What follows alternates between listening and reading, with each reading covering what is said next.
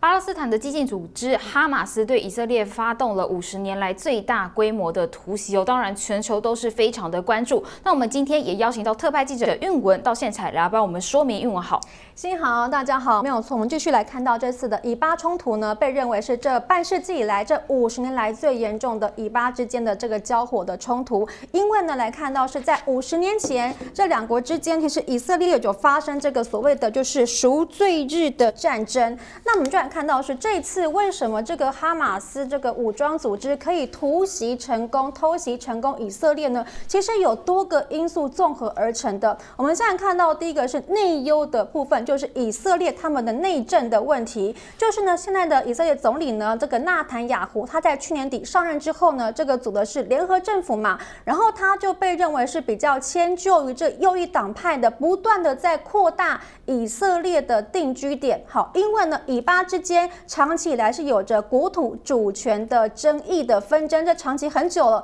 那他让右派的这个党派不断扩大定居点之后呢，就让这个巴勒斯坦人非常的生气。尤其看到这个地方，这张图呢，这以色列的国土范围，而当中呢比较深色的地方呢，就是有这个巴勒斯坦人居住的地方，尤其是这个约旦河西岸这一块，其实是一个非常有争议的地方。虽然说呢，多数是由以国来控制，但是有部分地区是由巴勒斯坦人所控制。是的那可能会有个城市，它一个城市当中被划分成有两个政府来掌管，是个非常分裂的情形。所以现在呢，当他放任这个右翼的政呃政党呢不断扩大以国人民的这个居住点的时候，让这个巴斯坦人就非常生气之下，这股怒火让这个哈马斯的这个武装组织就有了这个可能他发动武装来武力解决的这个契机了。同时再看到的是呢，他们内部的他推动这个强推司法改革，造成以国的国内的政治的局势动荡，尤其军警的人员对他其实很不满，这都是一个有机可乘的原因之一。再来就是看到是他曾经有提到是说呢，现在这个以色列呢跟这个沙特阿拉伯打算要来建交，恢复这个以沙之间的外交关系的正常化，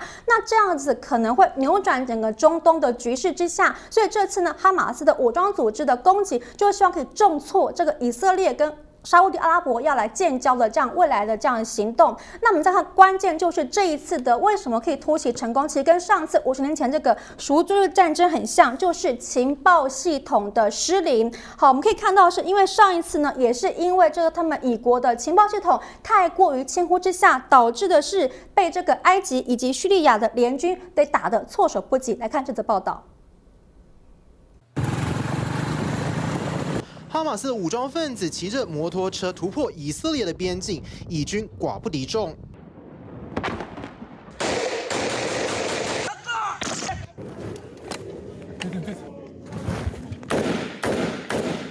哈马斯的先锋攻入以色列的基地，试图切断战场通讯。显然，这是有组织、有计划的袭击。以色列引以为傲的情报网竟然大失误，有如珍珠港事件翻版。但这可不是他们第一次这样失误。Certainly ironic that it happened on the 50th anniversary of the last time the Israelis were caught unawares.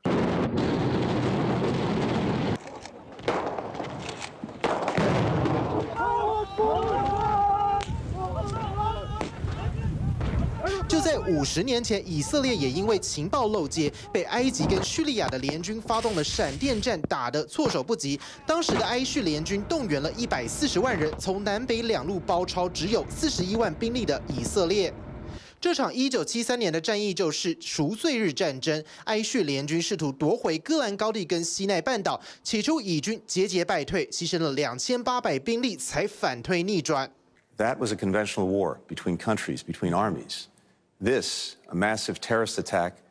on Israeli civilians. 但是这回哈马斯到底为何要发动恐攻？If the Saudis are also going to join the process with Israel, it means that we, the Palestinians, we have been totally thrown under the bus. 原来是沙乌地阿拉伯跟以色列关系正常化，似乎让哈马斯觉得顿失靠山，选择先下手为强。跟哈马斯同仇敌忾的黎巴嫩真主党也对以色列北部的阵地发动炮击，一时之间战云密布。眼看整个阿拉伯世界要大团结，从以色列的邻国约旦，到南亚的巴基斯坦，都爆发反美反以示威。伊朗人甚至还开心到放烟火庆祝。伊朗政府也否认协助哈马斯。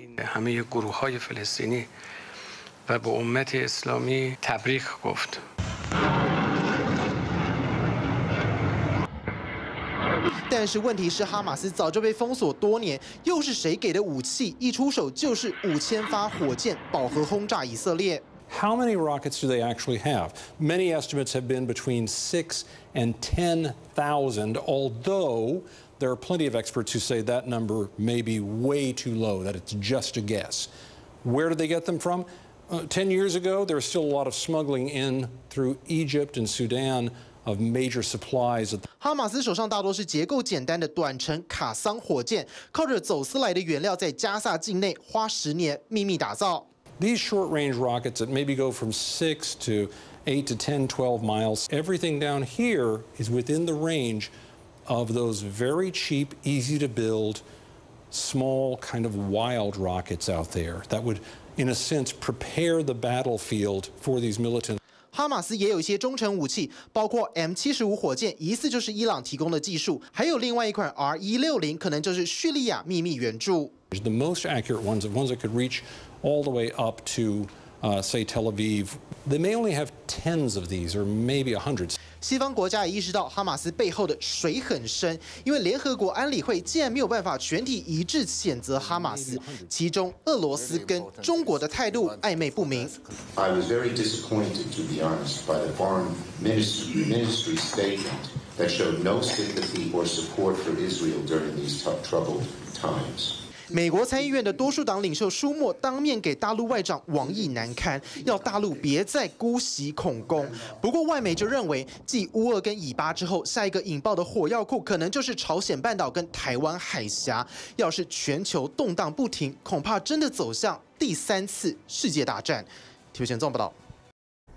好，那么虽然现在目前以巴冲突持续的升温，但是大家不要忘记了，俄乌战争呢也还在持续当中哦。想要请教韵文哦，现在以色列跟巴勒斯坦之间的冲突，是不是其实俄乌战争当中，俄罗斯也有可能会从中得利呢？嗯，确实是有这样的可能性的。我们居然看到这个呢，是根据的是美国这个智库的市井，就是说呢，现在这以巴的交火的冲突可能会让俄罗斯有机会是有机可乘的。为什么？就是透过呢大内。宣大外宣的状况之下来加强这个所谓的反对西方干预的这样子舆论的这样子情形，来打击乌克兰的士气、乌克兰的民心。我们就可以来看到是，其实刚刚看看到新闻说，哎，其实中方跟俄罗斯对于这以巴的交火冲突的态度很暧昧。那其实呢，其实就是以色列是美国的盟友嘛，所以呢，其实俄罗斯当然跟中方当然可能会是比较亲近这个巴勒斯坦这武装组织的，就他们可能在国际上。的一些角力的布局，那我们就看到是现在，除了说俄罗斯有机可乘来做这个大内宣、大外宣的让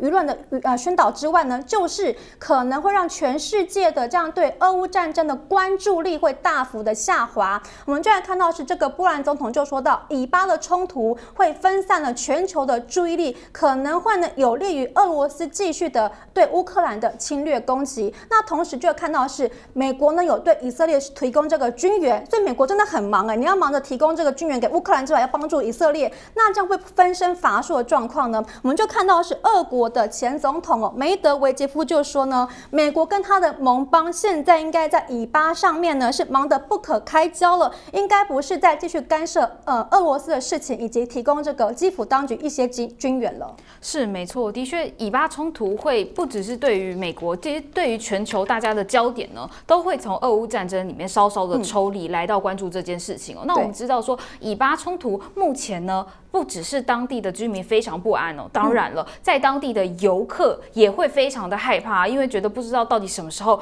有没有可能还会继续攻击，有没有可能会攻击到我。那所以很多现在很多航空公司呢也停飞了到这个以色列的台拉维夫哦。那想要请教韵文，现在这一个。以色列这一边的机票啊，因为很多人想要离开嘛，是不是也有出现漫天涨价的情况呢？对，就是一个可以说是一票难求的情形。因为像以巴交火的很严重状况，其实当地是很危险的情形，所以多数的航空公司呢纷纷停飞的是往返以色列的班机。所以现在会去的只有少数的民航客机，以及呢各国派去要撤侨的专机了。我们居然看到，就是根据路媒报道说，有一名呢是北京的游客，他是独自的去了以色列要游玩，本来呢是预定是要在十月。九号才返回中国大陆的，但是想不到呢，在十月七号遇到这个他们的哈马斯的这样突袭，整个防空警报大响之下，也一度传出哈马斯呢在十月七号就进入到机场去了，所以当天呢，他只能想办法就是在饭店的防空洞跟其他人一起躲在这边来避难的情形，然后隔天去到机场看到，哎，其实很多人都在这边，很多陆客都在机场等待，就是要想办法能够回去，以及很多人都在机场大排长龙，甚至为了抢票。可能发生口角争执的状况，那我们就看到是呢，他提到是说呢，他本来是要十月九号要回去的嘛，不过呢，他赶紧的就是十月八号立刻赶快想办法抢机票，抢了十多次之后呢，终于抢到是呢，阿联酋航空从杜拜中转回北京的机票也确实有抢到，因为他说他这个原本的机票呢，这张机票呢，后来是说到已经要取消的情形了。是没错，像是观众朋友也说，以色列如果当现在一张机票四十万，如果是他的话，他也要买哦。的确，现在的情是也。会让在当地的游客非常不安，想要离开。那我们也非常谢谢韵文今天来到现场帮我们进行分析，谢谢韵文，谢谢心莹，谢谢大家。好，那我们刚刚讲到这个，在以色列当地的游客一定非常想要离开哦。那么其实呢，先前有台湾的旅游团在当地哦，原本当当初传出说受困当地，但是永信旅行社拒绝把大家先带到约旦，再带回台湾，认为旅行社只有成本考量。但是现在永信的董座也出面的澄清，他强调第一时间其实公司就有成立应变的小组，全程都是以安全为第一考量，而且目前团队加领队团员加领队一共是十八人，已经正在前往约旦的途中，预计十一号就可以搭机返台。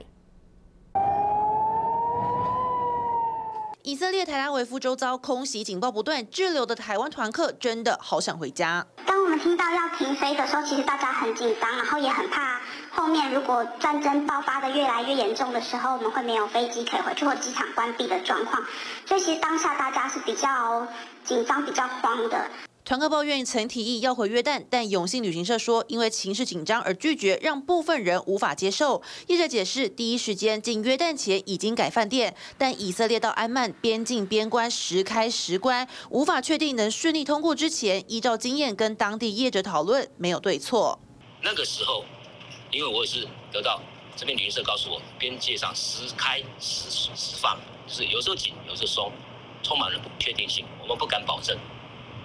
很害怕到边界又折返，会浪费时间。目前永信团十八人还在前往约旦途中，路上几乎没有人车。十月十号当地时间八点从台拉维夫饭店出发，预计要花两个多小时抵达边境，路况还算畅通。等落地前大约一个小时，入境约旦之后再花一点五个小时到安曼周边饭店。客人的安全是第一要务，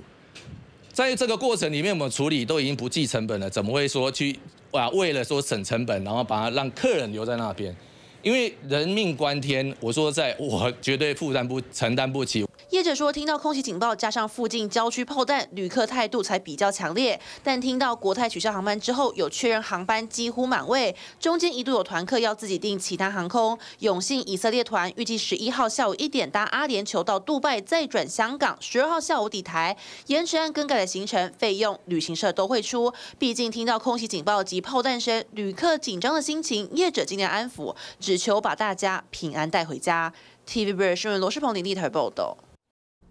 好，当然不止游客希望可以赶快离开以色列哦，当地工作的外国人呢也会感觉非常不安哦。像是现在在以色列当地，其实有三万名的泰国移工。那么这一次哈马斯的攻击，总计已经有十八名的泰国人遇害，而且还有不少人被哈马斯掳走。那目前呢，泰国政府已经出动营救。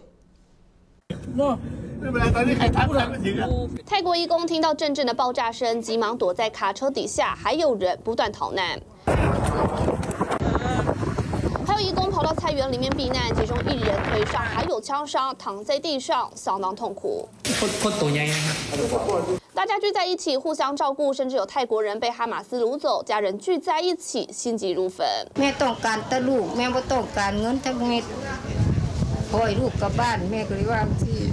了照片，只希望宝贝儿子快点回家，只能靠电话确认孩子是否平安。以色列有大约三万名泰国移工，不仅有人被绑架，其中甚至有十八人在这次攻击中遇害。泰国将派出撤侨专机。 แล้วก็ในส่วนของการอพยพคนนะครับจากศูนย์เอ่อสถานการณ์เนี่ยเราได้ใช้ทุกช่องทางนะครับ ไม่ว่าจะมีเรื่องของ 第一批撤侨专机预计十二号会返回泰国，而当地的菲律宾移工也担心自己的安危。Ah, nangangamba din po sa ano safety. Kasi yung Iron Dome po dito hindi naman po 100% na nasasalo lahat ng mga rocket from Gaza. 各国移工胆战心惊。当哈马斯突袭时，美国也有参议员当时在以色列。that Israel was under attack. There were thousands of rockets being launched. When I got back to the hotel, I joined others in the bomb shelter or the stairwells of the hotel. 还在外头慢跑，就收到要避难的消息，大家都相当害怕。以色列数十年来最沉痛的一天，纽约证交所特别默哀一分钟，美国白宫、英国国会大厦及巴黎埃菲尔铁塔都点灯祈祷，盼望这场战争能早点结束。TVB 新闻综合报道。TVBS 新闻直播回到 YouTube 频道了，提醒您每周一到周五的晚间七点到九点，由新化主播为各位新闻划重点，记得一定要来参加直播。